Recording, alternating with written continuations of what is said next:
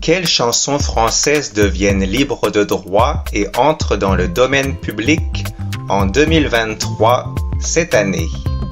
En France, une œuvre entre dans le domaine public plus de 70 ans après la mort du créateur. Donc pour cette année, on va regarder les compositeurs morts en 1952. Ensuite, Eugène Rimbaud avec l'anatomie du conscrit. Autre compositeur français, Albert Chandelier avec Chanson triste. Juliette Méali avec Froufrou. On continue avec Montéhu et la butte rouge, la butte rouge de Montéhu. Edmond Dierix, Edmond Dierix, Noël à deux voix.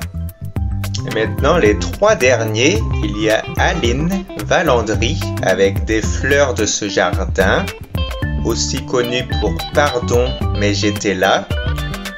Ensuite, Auguste Jean Pesanti avec Chéri ou bien encore Tahiti. Et pour finir, Paul Pierné avec Bucolique varié. Alors maintenant, quel est l'intérêt d'avoir des musiques dans le domaine public libre de droit? C'est que vous pouvez faire des reprises sans problème de droit. Des reprises de ces chansons, de ces musiques françaises.